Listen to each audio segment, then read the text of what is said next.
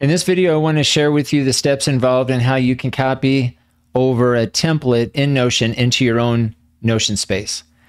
The first thing you'll need to do is make sure that you've already signed in to Notion. And once you've signed in, I'll share with you some kind of template. For example, the resume template here is what we're going to look at today.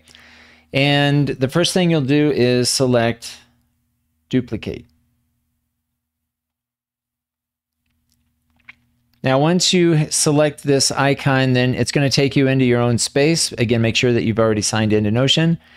And it should prompt you asking you where you would like to share this. I typically choose private uh, by default.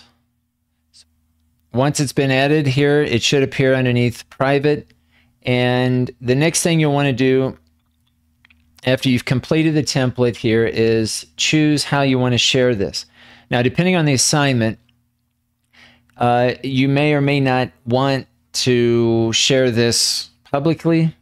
And if you select here under share, it will give you an option here to search engine indexing. You can turn this on or off.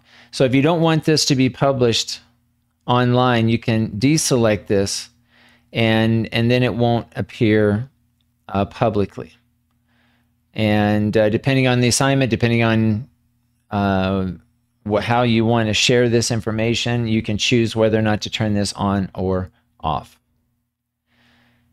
Okay, so again, you can just toggle this back and forth, save the changes, and everything else you should be able to leave the same. You can choose if you want to um, create a, a, duplicate as a template. It really doesn't matter uh, for probably most of the assignments that you will be asked to complete.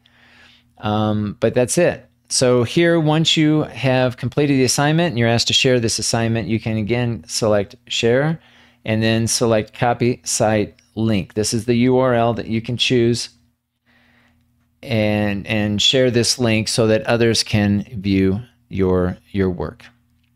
All right, so I hope this helps. If you do have any questions, make sure you're reaching out to me. If you have any questions or issues or challenges getting around Notion for the purposes of completing a, an assignment, uh, make sure you uh, reach out to me.